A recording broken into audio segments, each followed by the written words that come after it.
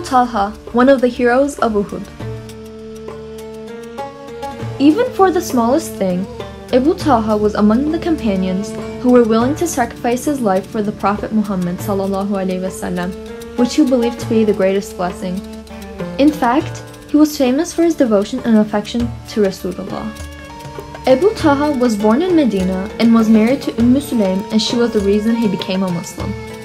Umm Sulaim's first husband passed away before the Hijrah and Umm Sulaim was widowed. She waited until her son, Anas bin Malik, grew up to get married. Abu Talha had proposed to Umm Sulaim many times but was rejected.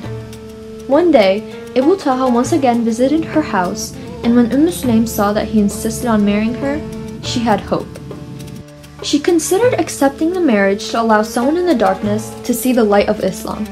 She told him, Someone like you isn't someone to be rejected. However, you are a polytheist. If I were to marry you, would you genuinely be a believer in Islam or would you hide your past way of belief?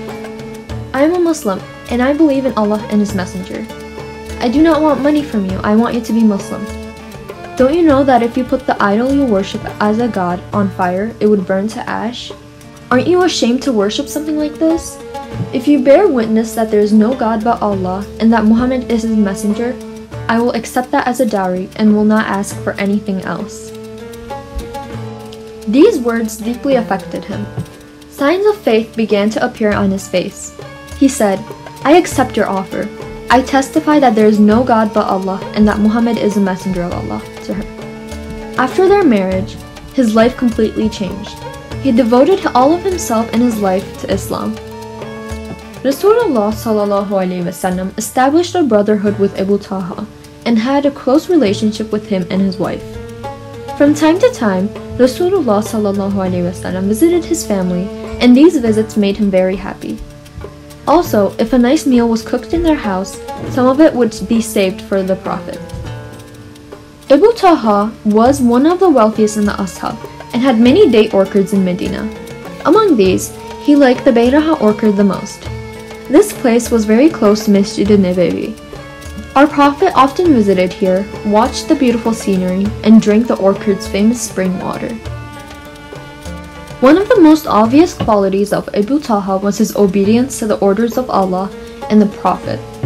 He would immediately fulfill what was ordered without questioning it in any matter. This great Sahaba also narrated 92 hadiths. After the death of our Prophet wasallam, Abu Talha was not able to stay with the memories of our Prophet and moved to Damascus from Medina.